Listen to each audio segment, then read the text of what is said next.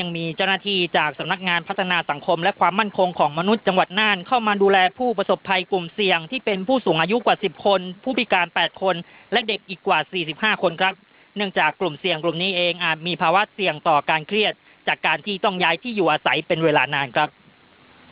คนที่ได้รับผลกระทบไม่ว่าจะเป็นเด็กหรือผู้ใหญ่นะคะได้รับผลกระทบทางจิตใจแล้วเนี่ย อาจจะเป็นต้องประสานทางโรงพยาบาลในเรื่องของจิตเวชจิตวิทยานะคะเพื่อที่จะดูแลสภาพตรงนี้ เพราะว่ามันมันเป็นเหตุการณ์ที่เขาเรียกว่าเออ